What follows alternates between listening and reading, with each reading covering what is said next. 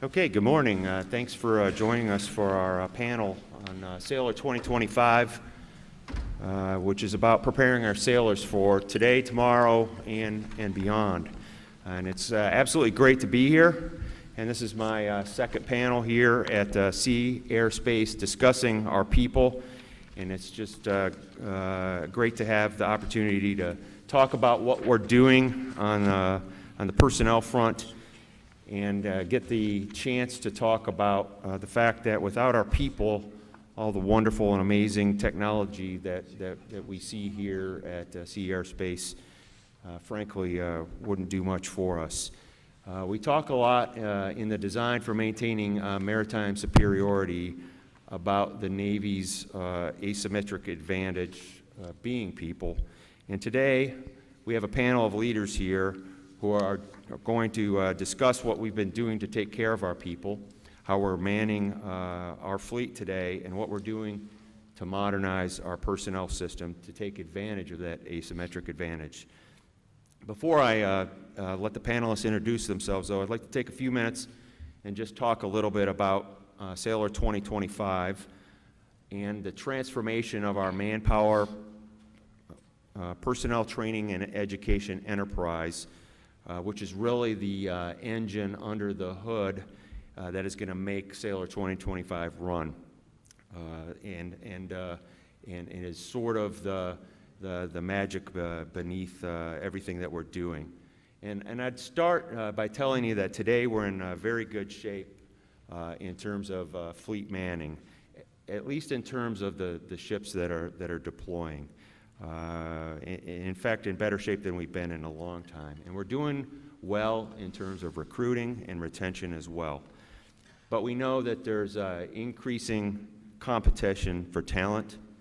Uh, we're seeing it. Uh, we're beginning to see a little bit of fraying uh, at the edges in terms of uh, our recruiting mission. we just made our 120th consecutive um, month of meeting our recruiting mission. But we're starting to see individual uh, recruiting districts miss individual goals, although we missed, uh, we're meeting the goals in the aggregate. Retention's continuing to creep up despite an, an overall low unemployment rate, although we're missing uh, retention goals in individual uh, communities, and we're having problems in, in, uh, in those individual communities. Uh, and, and like the other services, though, you know, we're all competing for a very, very small segment of, of talent, and, and that segment's getting even smaller.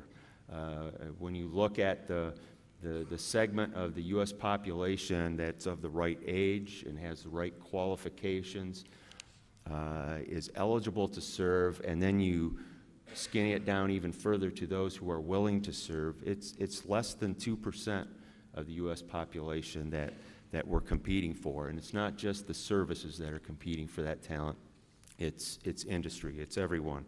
Uh, and, and that segment's getting smaller every day. So we have to be ready for that. All of the services are, are looking for that uh, increasingly competitive uh, talent market. So we're positioning ourselves to do that. And Sailor 2025 is, is about positioning ourselves for that. So we're looking to improve and, and, and modernize uh, every aspect of our personnel management and our training systems because we want to be able to more effectively recruit uh, folks. We want to be able to develop them more effectively and manage them throughout their careers. We want to more effectively uh, reward them so that we can retain uh, a, a, leaner, more effective force going forward. So the, the, the basic tenets of, the, of what we're trying to do is empower our sailors and we're updating our policies and our procedures and our operating systems to do that. And, and it's really about giving them uh, transparent processes that you know, they can have faith in, they understand the rules, they can see what the mechanisms are. It's about giving them career flexibility and choices and, uh, and options going forward, recognizing that the Navy has needs, and those needs are dictated by you know, a changing world and you know, adversaries out there that we're going to have to uh, be able to, uh, you know, overmatch in, in many cases.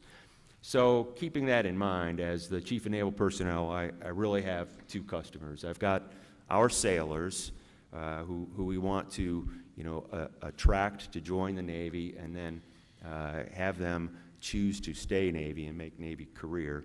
And then we've got the fleet. I've got to man the fleet fully uh, with the best uh, that we can uh, recruit, and then I've got to keep it manned, and, and, not only manned with the right numbers, but with of, of sailors with the right skill sets in the right places at the right times.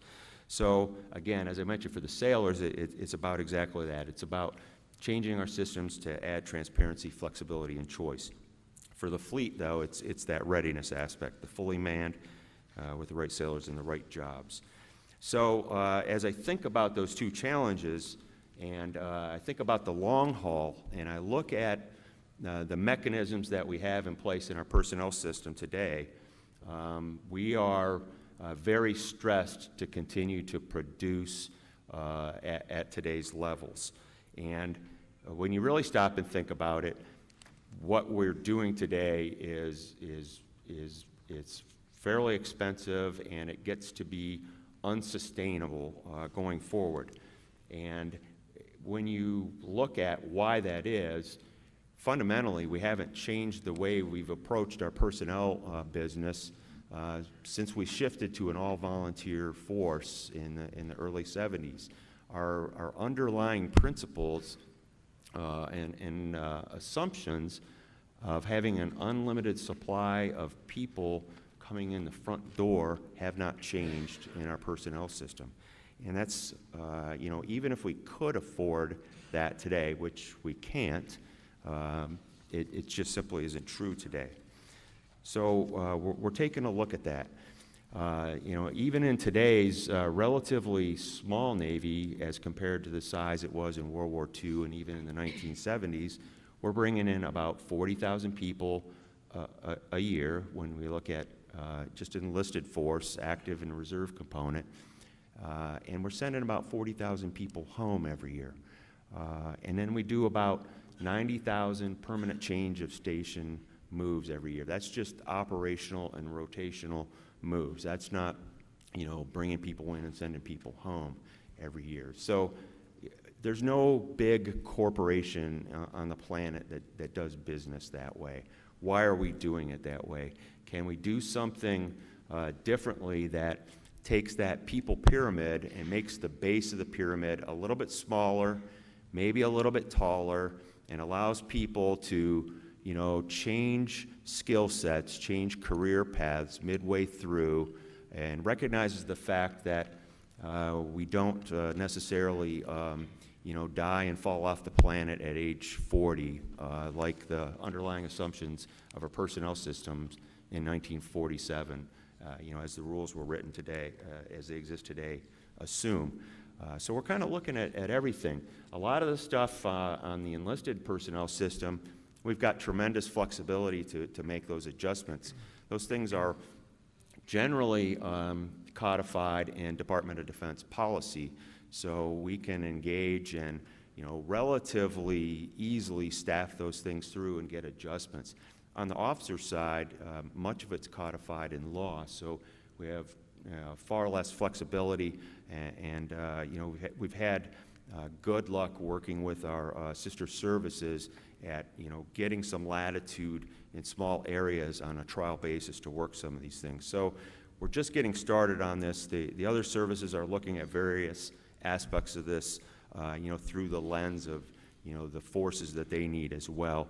And uh, you know we're all moving uh, in, in various aspects uh, of this project, you know, to, to suit our various needs. But, you know, the, the efforts, you know, there in various stages for each of the services. For us, though, Sailor 2025 and the, you know, the customer side of this for the sailors is, is, the, is what they'll see. And there's three main uh, approaches. I'll, I'll, refer to them as pillars uh, that we'll talk about up here. The first effort is just sort of a wholesale modernization of our, our personnel system. It's about empowering the sailors, uh, giving them flexibility and career choices. And we'll talk about a lot of examples of what that means to them. The second uh, uh, uh pillar is about changing the way we do training for our career enlisted force. And, and we'll talk about uh, how we do that. And, and it's really restructuring it into a a, a career continuum of training, and it's, and it's about leveraging the technology and the science of learning to optimize that training uh, rather than making it classroom and PowerPoint, uh, chalkboard uh, type of uh, oriented training. And then the last, the last uh, pillar is about career readiness, and that's everything from life work balance to health and wellness to uh, leader development and uh, you know, training our uniformed Navy leaders how to lead uh, the other part of our Navy team, our Navy civilians, and uh, developing uh, career paths for our Navy civilians, and, and also working on uh, you know, family issues, the other part of our Navy team. So there's a whole uh, you know, uh, host of, of uh, initiatives in there, 45 or so uh, initiatives in play today, uh, and, and it's a living, breathing uh, group of initiatives that, that continue to grow and, and mature. And uh, sailors are, are sometimes the source of a lot of these ideas and, and give us some of the best ideas. But as I mentioned earlier, at the foundation of all this is a, is a transformation within our organization, which is geographically dispersed, uh, uh, many, many different organizations, and I've got the, the commanders and uh, uh, directors of a lot of those organizations here with us today.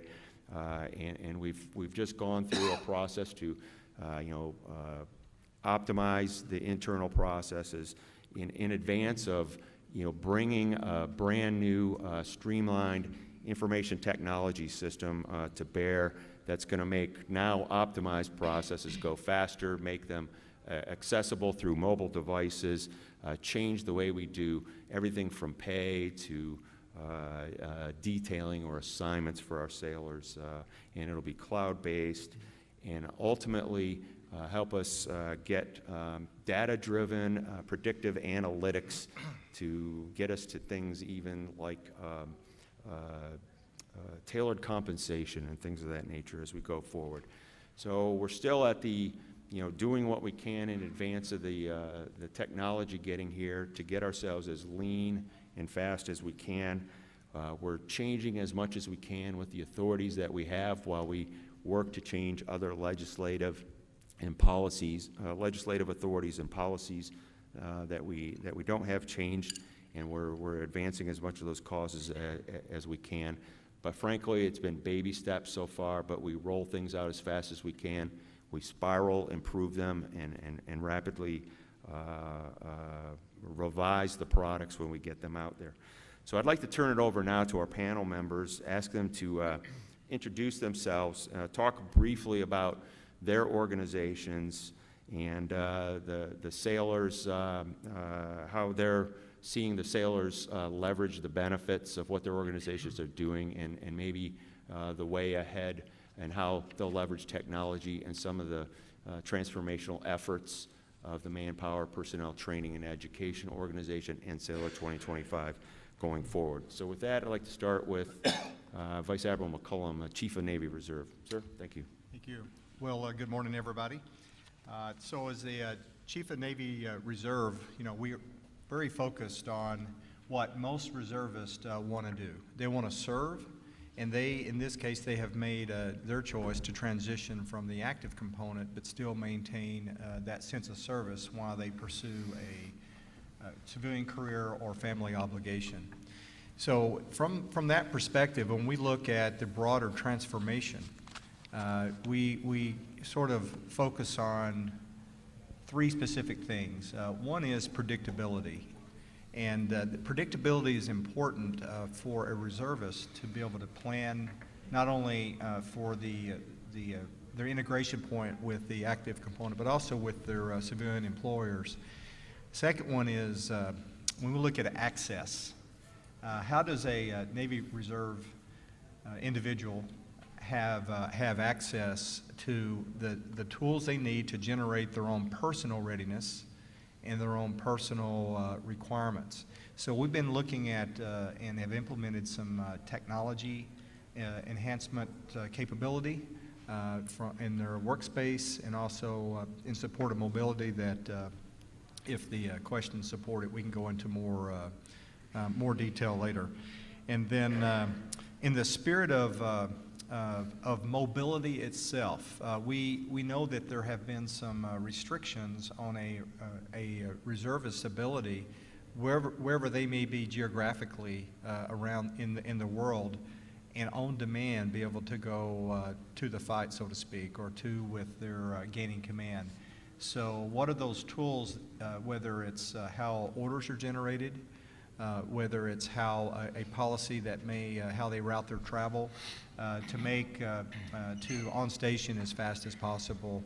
So when we, when we look at these initiatives and then blend it into the broader transformation, the, the Sailor uh, 2025, uh, continuing service, then we see uh, expanded opportunities uh, for reservists to, uh, to go to active duty, full-time or part-time uh, for a two or three-year uh, segment. And uh, this is what uh, we refer to as permeability or on-ramp or off-ramp programs. And uh, so uh, we're really excited about the momentum and the progress we've made in these areas, and uh, certainly I look forward to uh, talking about it in more detail. Thank you. Thanks, Admiral McCollum. Go to uh, Rear Admiral White, Commander in Navy Education and Training Command. All right, thanks, CNP. Well, good morning. I'm uh, Mike White. I've got the, I'm the commander of Naval Education and Training Command down in Pensacola, Florida. And I'm pretty fired up. This is a really exciting time to be in training.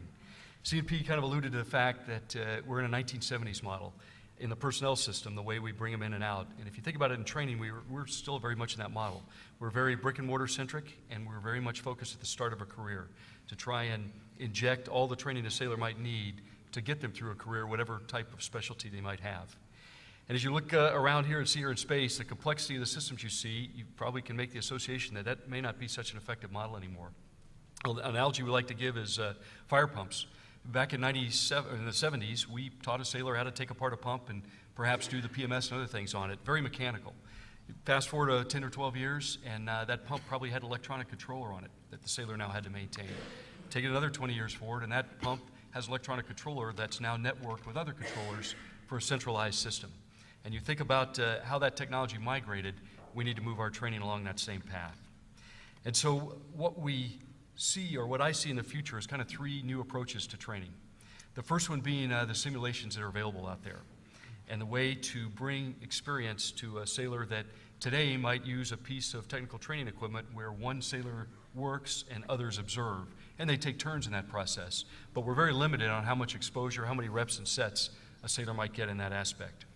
So as we look at simulation and immersion and the quality of that uh, type of work, we think we can move the sailors much quicker and with much more fidelity in their training. Another key aspect of that is portability. So today, much of our technical training equipment is very hardware based and it's centralized at our schoolhouses. If we can make more portable systems that can go to the waterfront, we could now take a sailor with uh, some training to get started in the fleet. They garner some context and experience from their first tour, and then during that tour, they have the ability to go very locally and improve on their skills, learn more, and be more productive in their jobs. So the simulation, the portability, and then finally, uh, moving people beyond the baseline. I would submit to you today that our goal or our job is to train every sailor that comes in the door to a steady baseline in that particular specialty.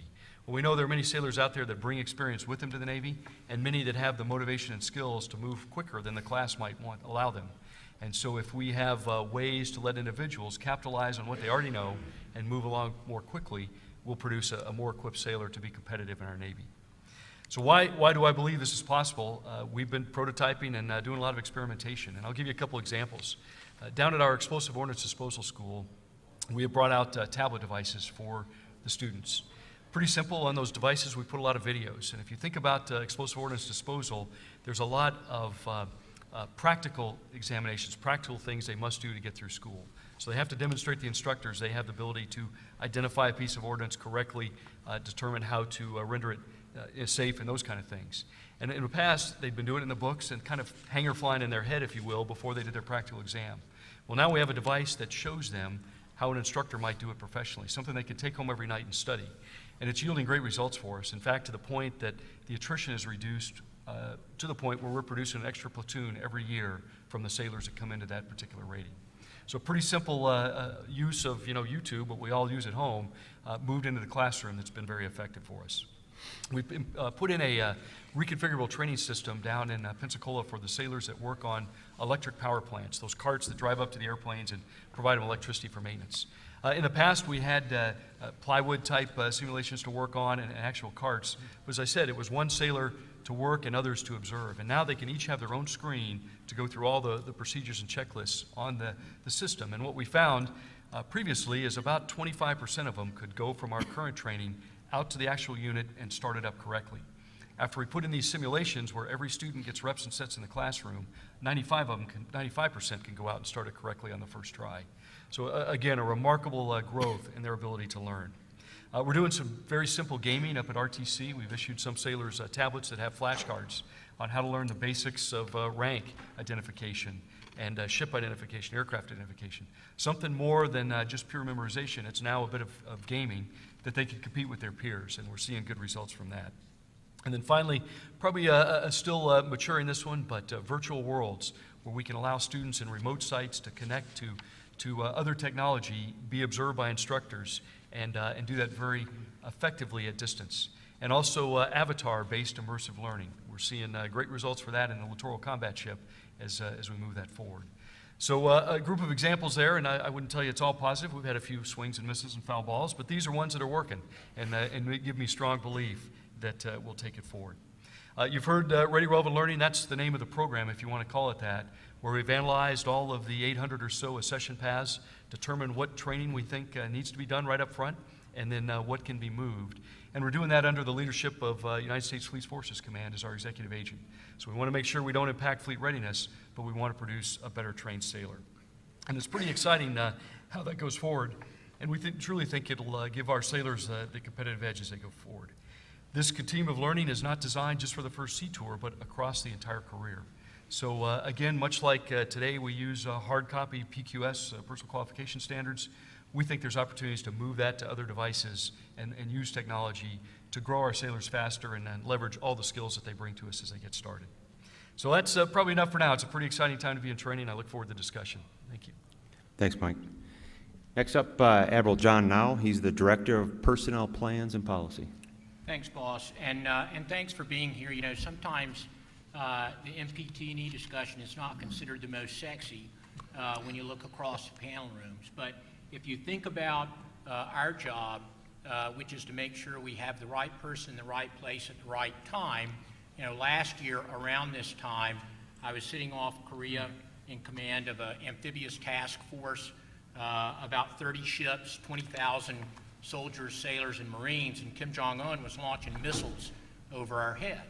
And so the reason that we could operate with impunity, the reason that we could do a show of force landing, is because we had the right uh, fire controlman, you know, in the seat on the Aegis cruiser that was riding shotgun for a Bonhomme Richard. We had the right bosun mates with the right training uh, that knew everything that had to be done to go ahead and get the Marines out of the well deck and ashore to get the V-22s up or to get the Harriers up. And as CNP said, the policies uh, and the systems that we have in place right now uh, have been able to do the job and do it quite well. But as we look at a world that's changing, as we look at a workforce uh, that's changing, uh, the issue becomes, uh, is it sustainable and will it work? And that's why we're in the midst of this transformation. So my job is to make sure that we have the right policies uh, in place as we work across the organizations uh, up here at modernizing the systems that go with. And so we're looking at a number of different changes, whether it's tailored compensation, uh, whether it's uh, how we do our rating uh, modernization and how we do our detailing and retention. Uh, we call that a detailing uh, marketplace. How do we prospect for and test folks to make sure that we put them into the right job where we get a better fit now so that uh, we can keep them uh, for a longer period of time. Admiral McCollum talked to the active component and the reserve component uh, permeability, and, and that is really uh, important, and we need that, and we're going to leverage that more in the future. Uh, and then how do we advance folks? How do we give more flexibility to our command triads? We'll talk about our meritorious advancement program. And then as sailors go through their careers, uh, and they earn certifications in the Navy, how do we work that certification and credentialing so that then they can take that uh, to the outside as well? And that's an important recruiting tool as well as uh, the retention piece. So we're looking at the policies that we need to change now. As we look at, at some of those changes that we can affect, we're really waiting uh, with bated breath as we, as we look at the transformation that CNP talked about uh, for MPT&E and taking that system, taking it into the cloud and allowing us to use big data to really get to predictive analytics. So uh, I'll kind of close, if you're a Sunday morning junkie uh, and you were listening to one of the Sunday morning talk shows, you heard Jeff Immelt, who is the president of GE, and he described their digital transformation over the last five years. And he talked about what it had done for them, and he used an example of a jet engine where using big data, predictive analytics, uh, it made everything more efficient from buying the parts to putting it together to getting it uh, into the plane and the plane out there to then the life cycle support that they were able to provide. And so that's what we're going to do with our sailors uh, using, uh, you know, what that uh, transformation will bring. So again, uh, glad to be here and really look forward to the discussion. Thanks, John.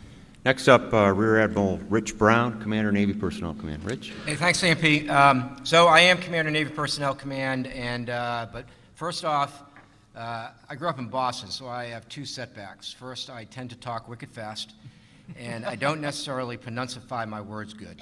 Um, so you're going to have to keep up with me. J- John, I have to disagree with you. You are a very sexy man, uh, and as setting all the policy for MPT&E, uh, you're just the right guy to do that. Um, so, as Commander Navy Personnel Command, I am in the in the people business. That's what we do. Uh, but I have two primary tasks right now and into the future. The number one task is to man the fleet. Uh, the second task is to tr- transform our organization to make sure that we can do the first task. Uh, if you ask me, I think the team is doing a great job down there in Millington, Tennessee. But what I really want to let you all know is that MPC is the engine room of the N1 organization. We are constantly running. Uh, and, uh, but we do a lot more than just detail people and write orders. As CNP said, uh, talked about about 110,000 uh, orders. That includes uh, orders for those who have resigned their commissions or have ended their enlistment contract or, or are retiring or PCS moves. But we do a lot more than that. I own all the Navy brigs, uh, which is an interesting um, mission that I have. I, I also own the pay and personnel system. We have 43 personnel support detachments and 16 consolidated support detachments located throughout the entire globe. I own the Casualty Assistance Program for the United States, States Navy. Uh, MPC does all the personnel information management. We do all the selection boards. We do all the slating. So as you can see, MPC is the engine room of the N1 organization and really of the fleet. And what's interesting is the sun literally never sets on Navy Personnel Command because we have people across the globe. But the team is doing great, but we have challenges.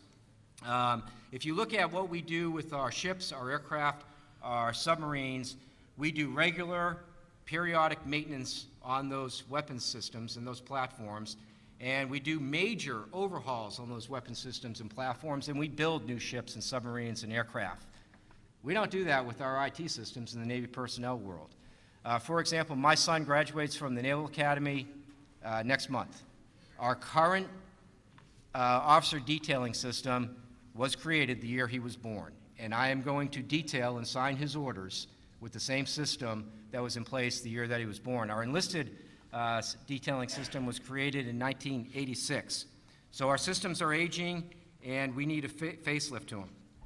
So Sailor 2025 is, is designed to help not only sailors navigate their careers and, and create better systems, but actually create a better personnel system for us to be able to man our fleet. But what's really interesting is we are dealing with people.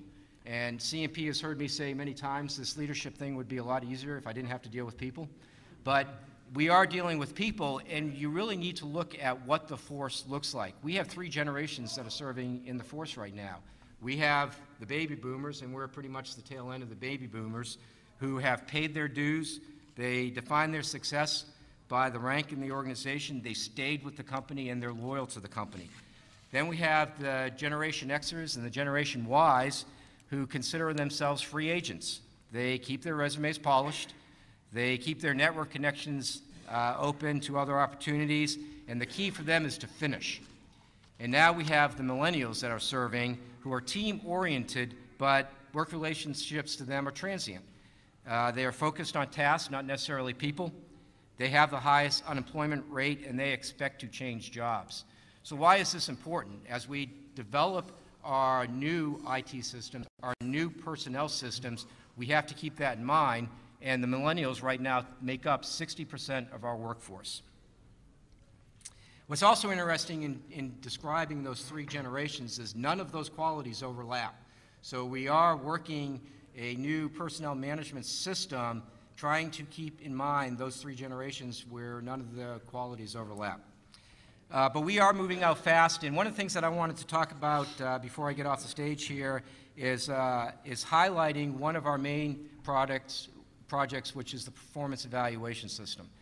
Um, our current performance evaluation system needs improvement to move us ahead and to take care of these new generations that are coming up. Uh, our current FitRep eval process, which uses RISCAs and traits and rankings, et cetera, was conceived, developed, and executed by a small group of people under a CNO board uh, in just under 15 months in 1996. And so that system has been in place for over 21 years. Um, it's time to refine our requirements and get an updated system that supports our mission and our requirements, but also supports the folks that are working for us and helps us to better identify the talent and manage that talent. So some, some of the aspirational things that we're looking at is uh, developing a system where we write, rate to a standard vice small competitive peer groupings.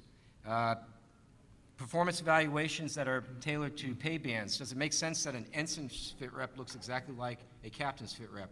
Or an E1's evaluation looks exactly like an E6's evaluation. We are targeting and formalizing counseling as a foundation of the performance evaluation and providing timely, objective, and uh, written and graded feedback to our officers and our sailors. We're also seeking out TYCOM and designated community injected influenced evaluation competencies. So we can not only evaluate performance, but we can also evaluate competency and create a system where we can meaningfully uh, data mine cohort traits uh, and competencies, and provide a system that requires evaluator accountability, feedback, and controls. So as you can see, there's a lot going on in the Navy Personnel uh, Command, and I look forward to the questions in today's panel. Thank you. Thanks, Rich. Next up, uh, Admiral Jeff Hughes, call sign Huge. I warn you in advance, he's an aviator but even for an aviator, he uses his hands abnormally a lot. so go ahead, Jeff. Thanks, boss. I'm, I'm sitting on my hands just for that. Very, very excited to be here with you to talk about the exciting state of Navy recruiting. Uh, everything you've heard to this point, it all starts with us. We got to get everybody off on a great start. And I will tell you that the state of recruiting is incredibly strong.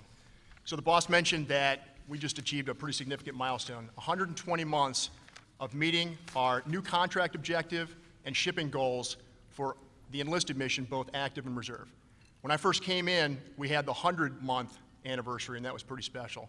And I'm really excited to be celebrating the 10 year anniversary. So we've been doing a lot of things great in the recruiting business for a while, and we're continuing to make that happen. 2016 was the strongest officer recruiting performance that we've had all decade, and we're off to a great start in 17, matching that level of performance. And then lastly, quality. By every objective measure and standard, the quality, we're meeting and exceeding every one of our quality benchmarks right now. But I will tell you, there are headwinds on the horizon, and CNP mentioned that, that we're starting to see a little bit of that fraying. So where does it really come across, and what are these headwinds? So resources. Obviously, we're, we're, we're impacted by de degradation in resources, and where do we see that? We see that in our ground game and the number of produ production line recruiters that we have out in the nation. We see it in our marketing and advertising budget, which is critical to generate awareness and to help us throughout the, the course of the entire recruiting process. And we see it in our enlistment bonus, which is really important as we start to try to continue to bring in those very high quality candidates who have a lot of options out there. On the requirement side, the standards are getting more and more stringent every year across the board in just about every area. And the requirements that the fleet is putting on us to make sure that we are bringing in that level of quality to support the expansion and the complexity of the systems that we need to maintain our competitive edge is uh, just, just look on the floor. You, you can tell that that's a, it's a mandate and something that we've got to get after. But really, it's the market. The market is constricting. And as the boss mentioned, less than 2% of the population out there is qualified and propense to serve. A lot of that is due in fact that fewer and fewer of them have direct ties to the military. So either they have no family members that have served or some of those key influencers that might help them see what we offer. So it's important for us to be out there in the market and making a difference. But I will tell you, this is also a time and a period of great opportunity for Navy recruiting as well as the other services. So whoever best adapts to this environment by leveraging both the talents of their people and technology will maintain the competitive advantage. And we're going to strive to be that service that does so. Therefore, we're transforming to a more modern, agile, and mobile enterprise. And here are a couple of the key attributes, and, and very similar and nested with some of the themes that you've already heard. So we're going to spend more time in virtual prospecting and digital processing. It'll repurpose the recruiter time for impactful face-to-face engagement at the most critical phases of the recruiting process. We're going to enable greater recruiting mobility to actively seek the highest quality candidates while also reducing our force protection risk. We can't sit in the station and wait for them to come to us. We've got to get out there in the market and go find them.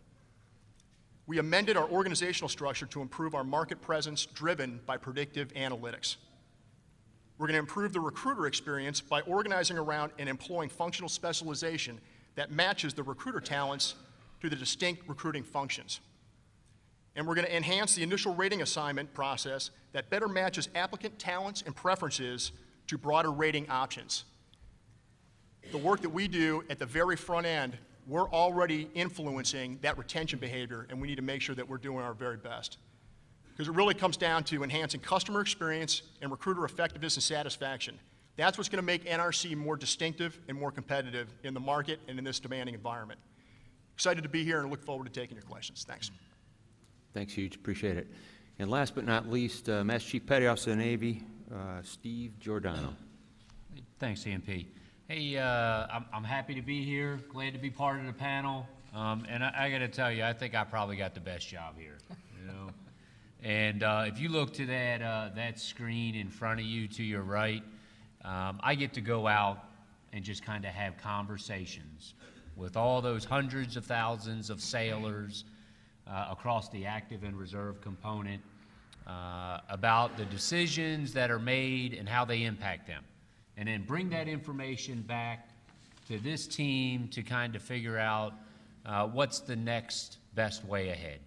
Uh, as sailors uh, kind of look for increased visibility, uh, in, uh, in their own personnel systems and how they're operating out there, career flexibility, a little bit of stability in their lives, more predictability in those assignments out there. Uh, and I get to also kind of have a conversation with the Chief of Naval Operations because I serve as his senior enlisted advisor on behalf of all those sailors as their advocate.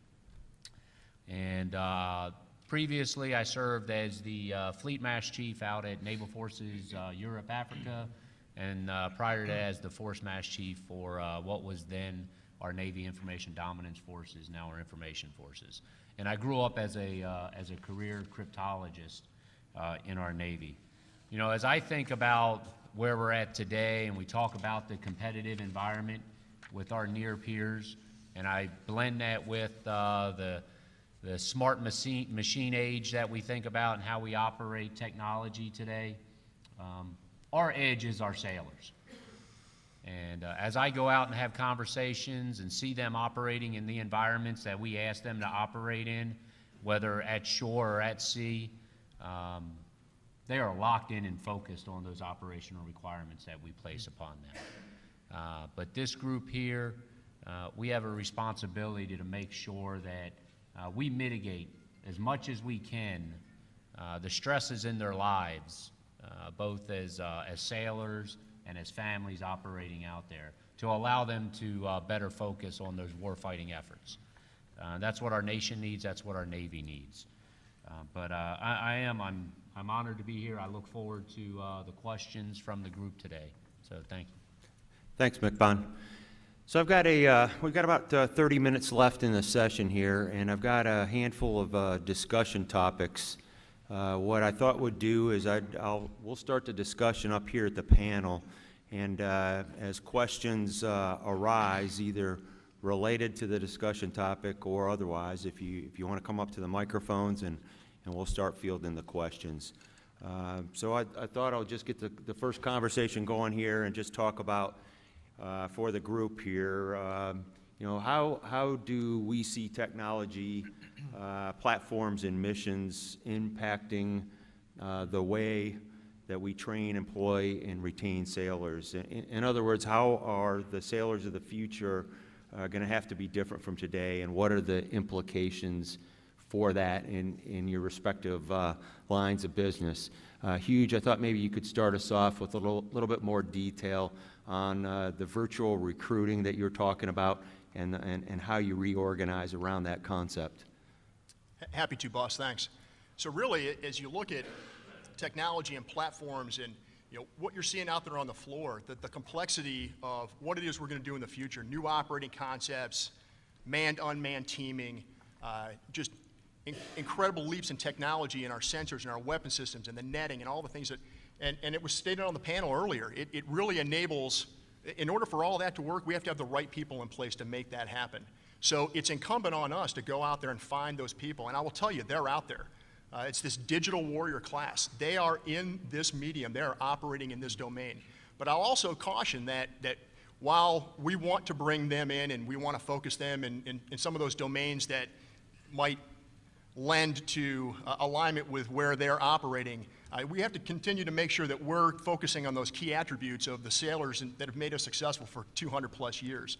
So I would say that we're looking for that, that confluence of that digital warrior, but one that uh, embodies and enables uh, the application of those key attributes that we're looking for their integrity, their accountability, their initiative, their toughness, the things that define a sailor.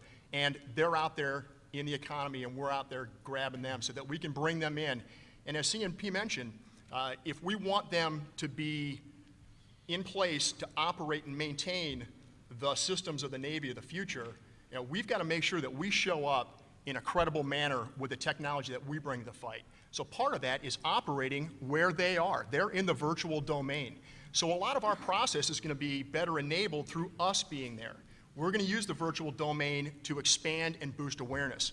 We're going to be in the virtual domain to help with our prospecting and blueprinting to find those right folks that fit for us, and then as part of that value proposition, have a conversation with them because we believe we're going to be a good fit for them. And we're also going to make sure that we're doing this in the, in the process itself. Uh, this generation does not look for pencil and paper. They're looking to do things online in an online application. If they're going to be doing the Common App for College application, they certainly expect us to be credible with the technology that we bring to the fight. So I will tell you, you know, it's important that we show up. We show up on the iPhone. We show up in a means that we can communicate with apps. We can communicate via text. We can communicate and do a lot of the process that they're going to want to do. This, this generation, and, and uh, Admiral Brown mentioned, you know, kind of the tail end of the millennials and starting to get into the Gen Zs. Uh, that's where they operate, and that's where they expect to be. That's where they do their research. That's where they learn. So, in a lot of cases, what we're doing is we're modifying everything we do to give them the ability to see who we are. Then we have the conversation, typically at the beginning phases, with them in this medium. But then, and I will tell you, we have data galore that will show they still require human interaction, that personal contact and engagement at the right points in the process. So, to, to really make the biggest decision that they're going to have made in their entire life up until that point.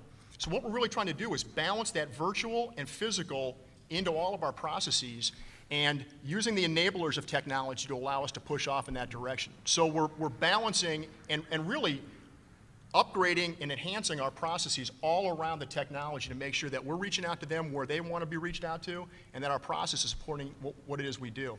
And a lot of these process type things that I mentioned in my intro some of the things are, as we, we can segment the customer service base, uh, and, and, customer service really will be the competitive advantage. So in some cases, you know, for example, we may find that we have a fifth generation Navy sailor, bosun mate, family's been in the business for, for hundreds of years.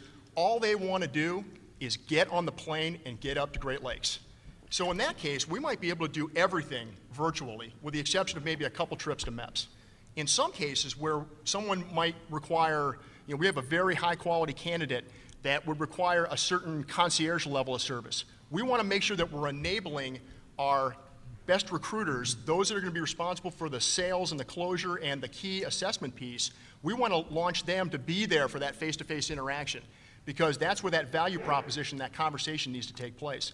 So that's an example of how technology is going to help us be more effective on that recruiting mission and allow us to bas- basically employ our people in a, in a more uh, a deliberate fashion, functional specialization. In a lot of cases, uh, and, and, many might, might not know this, I didn't know this about 20 months ago, is that we have a career recruiting force cadre as well as rely heavily on the fleet recruiters that come in into the, into the recruiting enterprise.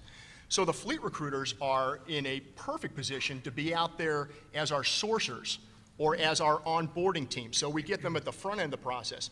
They're out there selling the Navy. They're telling their stories, and we, we, we basically play to their strengths. They're also the ones that were just at boot camp, maybe four years prior. They're the best people to help us onboard, and onboarding is critical. If we get them off on a good foot, give them a great customer experience, they're more apt to be happy with what they're going to end up doing, and we're already affecting that retention behavior. We then focus that career recruiting force to that critical point of sale. And it really is. It's, it's Jerry Maguire. It's in the living room. It's at the kitchen table. It's not just with the applicant, it's with the applicant's extended family.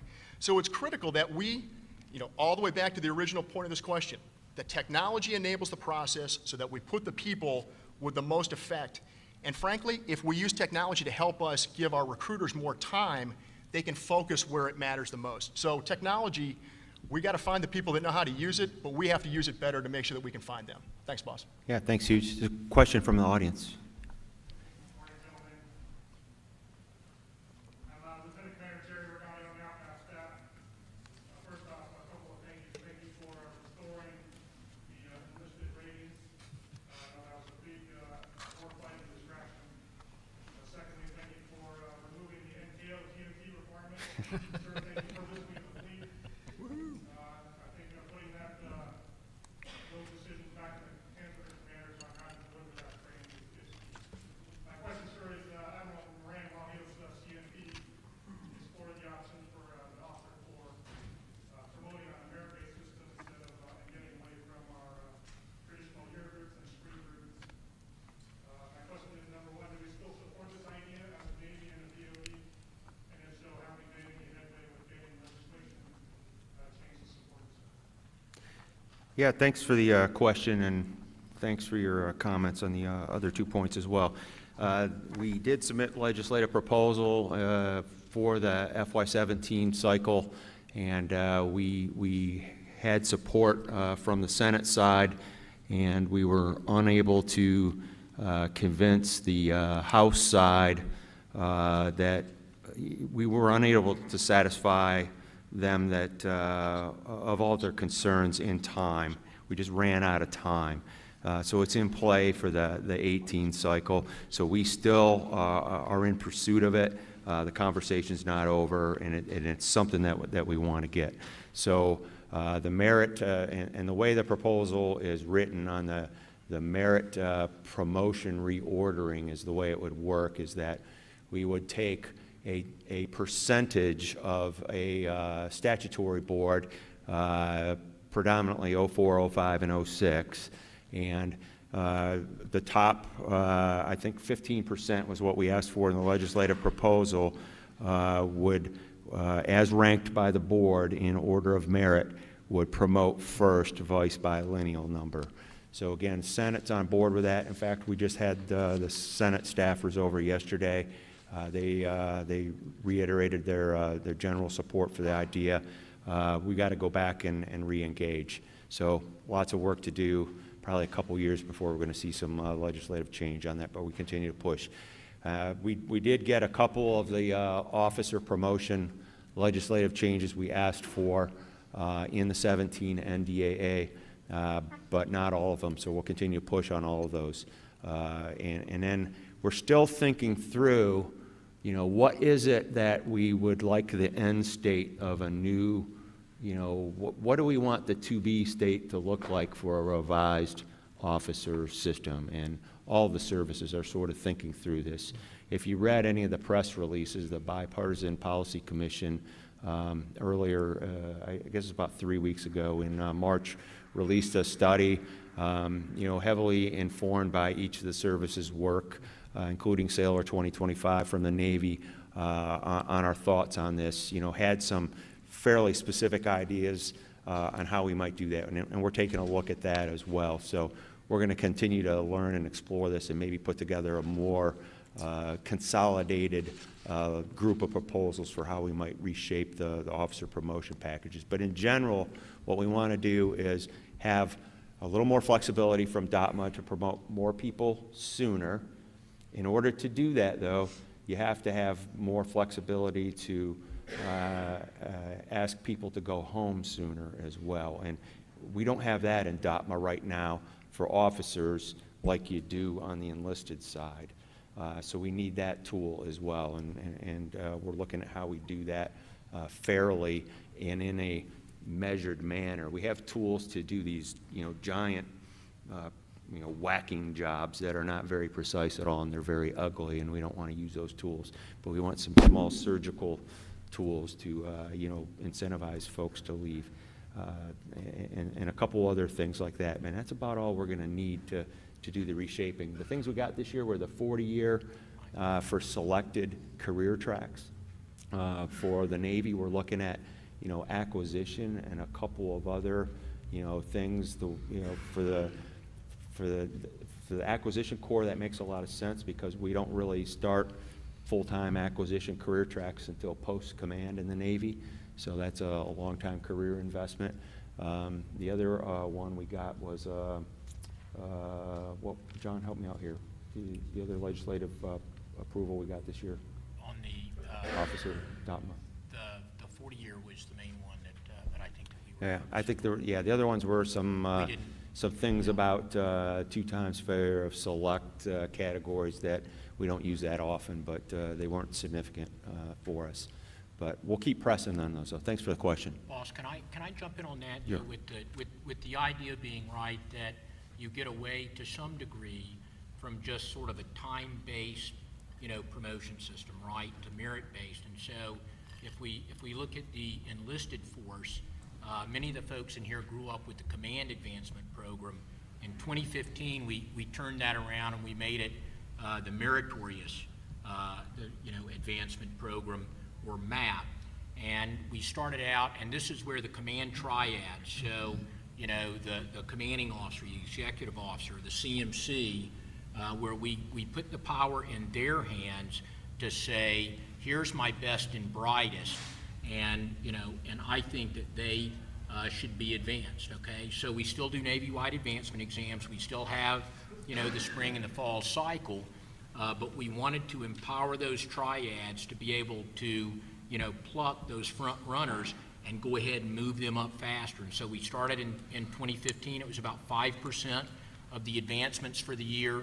Uh, we have, you know, opened it up. We started with it being sea-centric. We went sea to shore. We then opened it up to more uh, commands there. We broadened it. Uh, we relaxed some of the rules with respect to the timing aspect and eligibility. And so we're at 10% of the advancement uh, for 2017 will be done via MAP. Uh, Of those, about 20% of the E6s uh, that will be advanced will be advanced via MAP. So that kind of gets Yeah. at the kind of, of, uh, you know, solution set that you're talking about on the enlisted side. And this year, we rem- removed the time and rate requirements as well for the meritorious advancement program. So that'd be another aspect that we're looking for, a a relief uh, on the officer side as well. Yes, ma'am? I hope.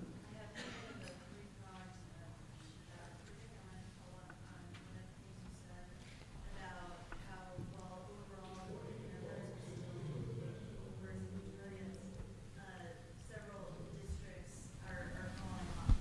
Where you can be specific about which districts those are, uh, how much of an issue that is, um, if legacy systems and methods kind of remain status quo, what, what your position might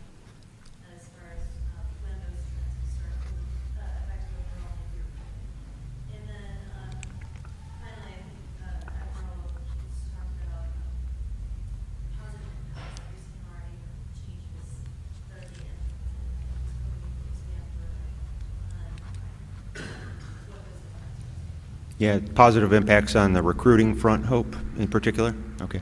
Well, I'll just uh, open up generally and let uh, uh, uh, Jeff just kind of jump in with some of the specifics. But again, um, you know, one of the things that, that we're looking to uh, do away with is this idea of geographic recruiting districts and the fact that you can artificially draw geographic lines and, and apply goals that are subsets of national recruiting goals around these geographic lines. The talent doesn't necessarily uh, obey those geographic lines that we arbitrarily uh, drew. So we, we're seeing districts meet those goals that were uh, drawn according to those lines. So we're ignoring those goals and, and, and really this virtual goaling is based around where the talent markets might be based on things like school districts and education centers and, you know, things of that nature instead.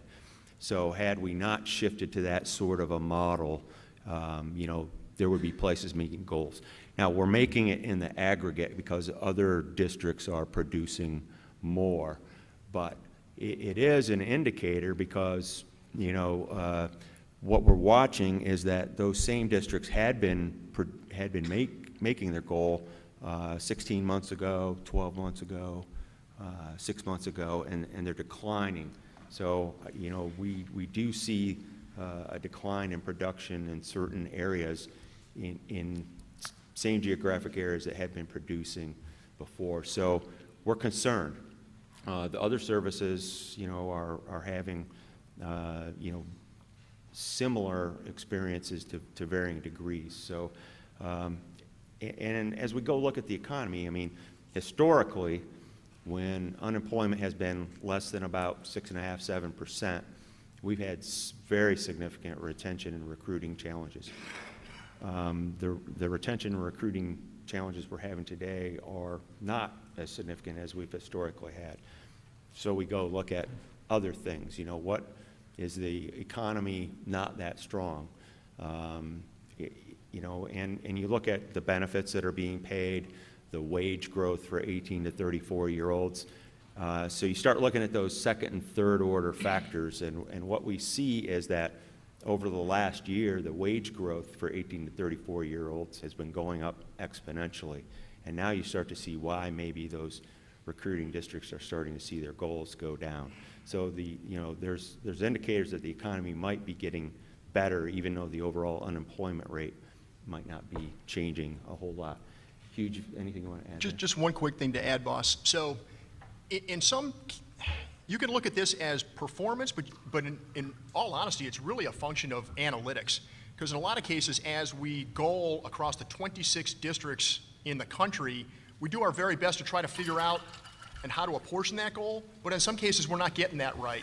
So as we go to more predictive analytics in the future, we're going to be able to determine what our footprint should be based on what the market should yield. And that's how we're going to hold ourselves accountable as to where we place the resources. So uh, it, it's, it's, we're showing that maybe we didn't have the goaling quite right, and that we have to continue to evolve in how we lay our, our resource footprint down. But honestly, i- i- you know, chicken and the egg, the better big data analytics that we have, the better predictability for the market, we will be where we need to be, and it's going to allow us to be more effective with the resources where we need them. Thanks, Jeff. Yes, sir. Thanks. Yeah, Mark Nusselroad from uh, General Dynamics. Kind of struck by the uh, show up here.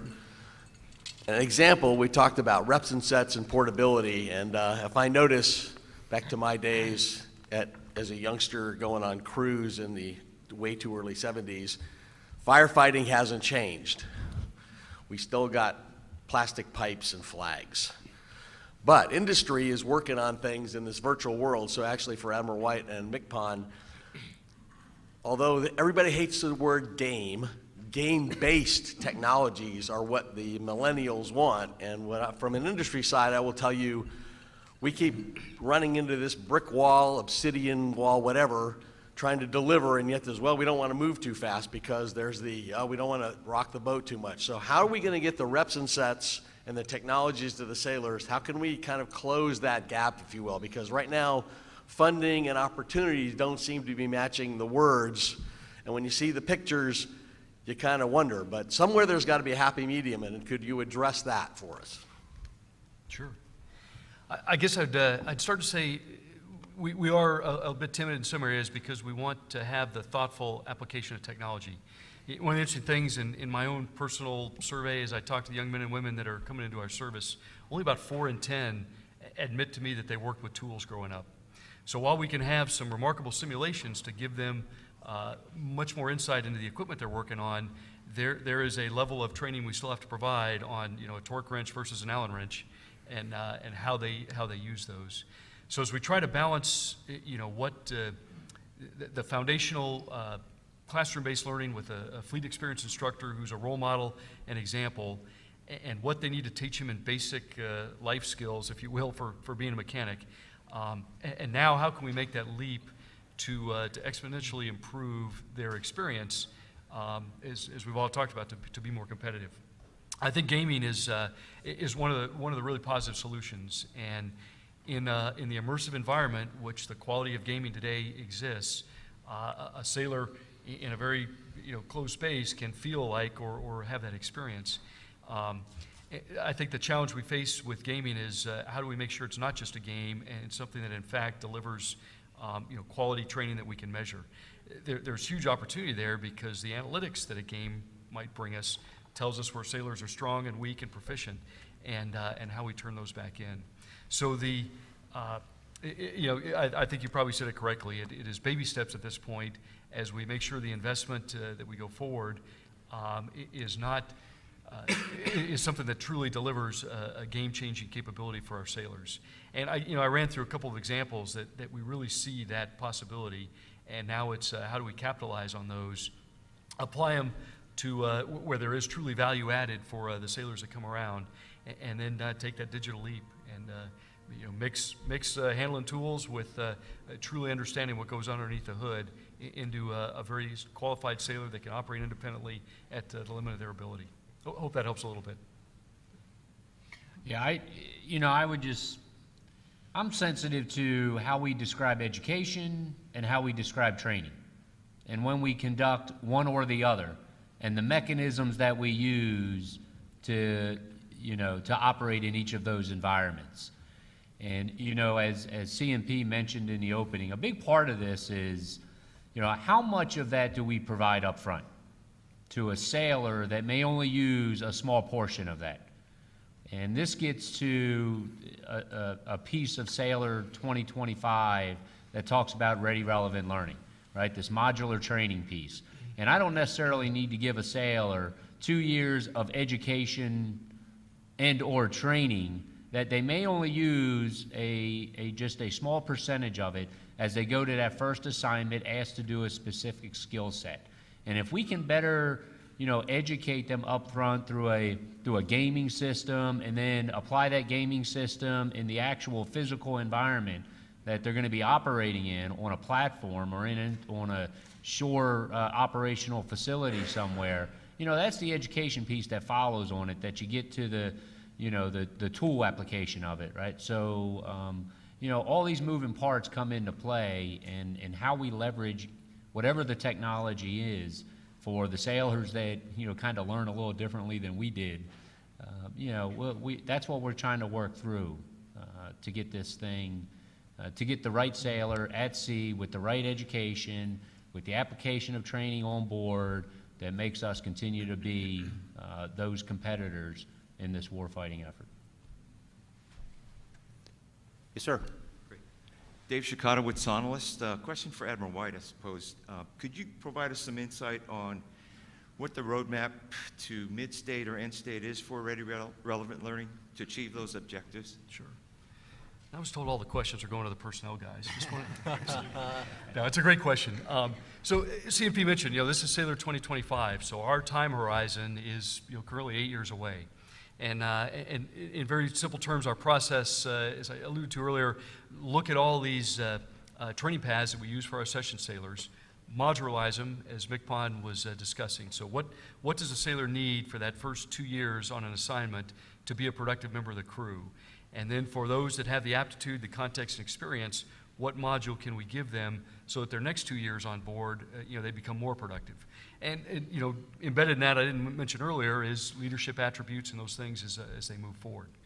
And so we've already broken down, uh, we've done the, the study of all of the uh, accession paths, and now we're in a phase uh, we're titling knowledge capture, where we have a, a group of kind of science of learning experts that are out there witnessing what our schools do today. So, what is instructor led, what is lab based, and so forth, and, uh, and trying to capture uh, what we see the future module to be, how it's being taught today, and now bridge that gap with uh, some of the technology tools we talked about and science of learning uh, techniques. And, uh, and on the out, out end of that, then, is a new accession path that incorporates those things into modules that move a sailor along. If you want to put a timeline to it, you know, as you move down knowledge capture and then into investment, uh, we expect our first uh, half a dozen or so ratings will, will have moved to that training form, uh, formula uh, in, in probably 18 to 19. And then uh, we kind of have a, a growth of all the follow-on ratings uh, after that and hoping to capitalize on what we learned for. So I hope that it gives you a sense of kind of our process and timeline, if that helps a little bit.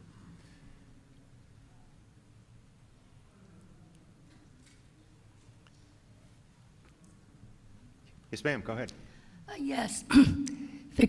I'm Victoria Smith, retired civilian, and my question is firstly, what will be the impacts of the CR on your initiatives? And, and secondly, uh, historically, there had been a gap between the time that, say, Sailor Jones graduated from A school and showed up to the ship, and then the ship finally got informed that he had gone through A school. So, how has this changed, or is this proposed to be changed? Yeah, uh, two good questions. Um, Let me take your uh, second question first. Um, Under, we've done a lot even in advance of our reorganization with optimizing, you know, when a sailor leaves the delayed entry program and, and, and goes to recruit training command, starts boot camp. We control that almost uh, to the day when they get on the bus so that it's almost, uh, you know, they, they get on the bus, they, they, they start boot camp, they graduate from boot camp, uh, they have a weekend, they start A school, uh, they get on a bus or airplane, they go to their ship. There's almost no uh, lost uh, time in between boot camp schools and, and, and anything. It's all lined up. We actually have a team that lines all those schools up continuously. Uh, so it's very rare that any of that sort of stuff happens. And then in our new organizational construct, Admiral White will actually own everything, all of the commands and subcommands that will be uh, involved in getting a civilian from the street to that first operational assignment. You know, street to fleet, we'll, we'll, we'll call it, but, you know, it'll be uh, force uh, development. Uh, we'll, we don't have a name for it yet, but he's going to own recruit training command, he's going to own recruiting command, uh, he's going to own all the schools, uh, and, and then all the distribution functions and the functions that align all those schools together so that we have single ownership and accountability for making that run flawlessly. The way we're doing it today is through um, gentlemanly agreements, and that's working today, but it's through force of personality. We want to make the organization keep it running going forward. So uh, that's the plan for the future on that because it needs to continue to run like a Swiss watch. On the CR thing, um, in terms of how it's going to impact Sailor 2025, um, probably little to no impact on Sailor 2025. Um, what I lose sleep over is on the day-to-day running of the of the personnel world. Uh, has has the potential to have uh, large impact on the day-to-day running of everything we do uh, in terms of just daily personnel moves. The, the the biggest accounts that have financial accounts in the manpower world that have any um, uh, fungibility to them. They're, they're, they're sort of the, the money surge tanks for the Navy, and the ones that get impacted the biggest anytime there's cash flow issues, which is what a continuing resolution does to, to all of the services. It's uh, permanent change of station money, so money, money to do moves, and it's money to pay um, uh, bonuses. So SRBs, uh, and any uh, officer bonuses. And uh, to answer the specifics of how badly we would be impacted by a CR depends on exactly how the CR gets written. Um, At this point, there's a lot of debate going on the Hill as to what the reference point for a continuing resolution would be. Normally, it's the last year's budget, and, and if they write it according to what FY 16's budget baseline would be, I will be, uh, you know, in dire straits. We will be, you know, stopping, uh, you know, most moves sometime in June. Uh, We will be stopping bonuses going forward, you know, sometime in June. It will be fairly catastrophic, and we've told lawmakers that. There's a large discussion that the baseline would be something higher than that. Uh, So there's a very big possibility it would not be that bad. Uh, We'll see where it goes. And then there's, there's a high probability that there will be a budget passed, uh, and that this, this won't need to be a a conversation at all. So a lot of folks engaged on it. We'll see where it lands, and, uh, and then, uh, you know, I was on the Hill last week, and uh, we talked about these impacts. A lot of concerned folks on uh, both sides of the aisle and in both uh, the House and the Senate that have, uh, you know, uh, you know, gave us their commitment not to put this on the backs of uh, our service members. So uh, we'll, uh, we'll go back to them and ask for their help if, if we need to. But thanks for the question. Boss, if I might, i- i- leverage your question to tell you something exciting we started just a few weeks ago. Um, For our uh, logistics specialist, LSs, uh, we are now issuing their orders all the way to their fleet uh, unit the third week, second day of boot camp. And uh, we want to expand that to many more ratings, but now a sailor, before they leave boot camp, has a set of orders that takes them to their A school and then to their ultimate unit. And uh, we think that does a lot of things for us. Uh, for the individual sailor, they now are motivated. They know they need to be on the Bonhomme Richard to serve Admiral Now in, in their future. It pressurizes the school to get them in and out on time to make sure they make that date on the ship they get to. And, uh, and it gives the ship visibility on who's coming and what schools they're going to. Uh, pretty easy for uh, LS because it's one A school uh, en route. A little more complicated for an Aegis fire controlman who has five schools en route. So it'll take us a while to get there, but the organization that CNP described uh, is going to help us. And uh, we really want to push as many orders back to boot camp. Uh, part of that uh, uh, proposition and a value that uh, Admiral Hughes talks about. So, a young man or woman that comes in and gets started uh, on the right foot with us has a vision of where they will end up in a short time and how they'll contribute to, uh, to the Navy and the nation. That's, that's a big game changer for us. The, you know, at the, at the very front end with, you know, Admiral Hughes's team, they have, you know, some pilot programs right now, but they're fairly mature with some testing that really helps us do, you know, talent matching. Uh, and we can do a pretty good profile of not only what individuals like, but what they're going to be good at. Uh, so we're doing that at the beginning. It's not just what the recruiter needs on that day in that district uh, like it used to be. Uh, so we're, we're trying to do that. It helps inform where we're going to put them, what their training track is going to be uh, downstream. And then with modern training, uh, you know, uh, we have one online right now with a littoral combat ship uh, with our surface forces. They leave that trainer fully qualified uh, to do maintenance, fully qualified their first watch station before they set foot on that ship. So that's the goal, the long-term goal across the board. We've got, we've got a ways to go, but we're going to get there in uh, bite-sized chunks. Ladies and gentlemen, I think that uh, takes up our time. Really appreciate your participation and listening to us. We'll stick around for a few sidebar questions. Thank you very much.